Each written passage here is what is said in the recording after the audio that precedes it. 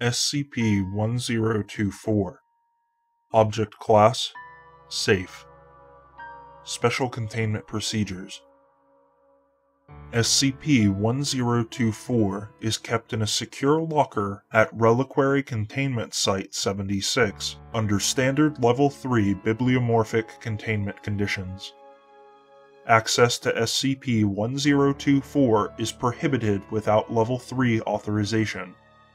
Personnel assigned to researching SCP-1024 have standing authorization for access, but must inform their project leader before accessing SCP-1024 and must log all activity related to its use. Description SCP-1024 is a modified Dungeons & Dragons basic boxed set, published in 1981 in nearly new condition consisting of a rulebook, a module, a pre printed adventure, a catalog, a set of dice, and a crayon. Although SCP 1024 superficially resembles a standard box set sold at the time, the rulebook and module have had their pages removed and replaced with sheets of vellum and bound using platinum staples. The pages are filled with diagrams and text written in classic Latin using red ink, and the books smell faintly of sulfur. Together, the two books provide basic information with which one can, with sufficient study and practice, invoke a variety of low powered anomalous effects.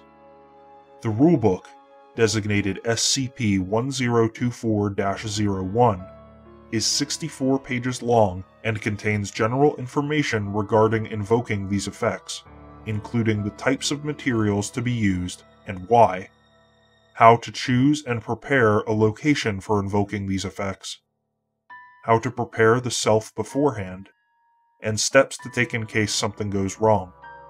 SCP 1024 01 does not include procedures for invoking any special effect, however.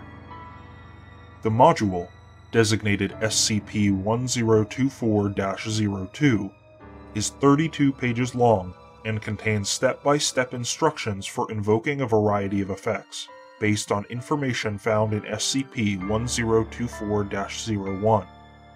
Anomalous effects that have been successfully invoked using procedures found in SCP 1024 02 include creating a protective circle, SCP 1024 01 notes that invoking this circle is recommended before performing any other process. Changing superficial traits on an object, such as its color or roughness.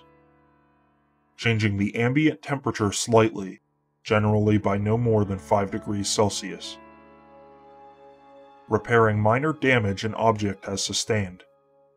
Healing minor injuries causing a short lived tactile effect on another person, such as an itch or a tickle. Reading the surface thoughts of another person for brief periods. Causing a small animal, no larger than a mouse, to spontaneously appear.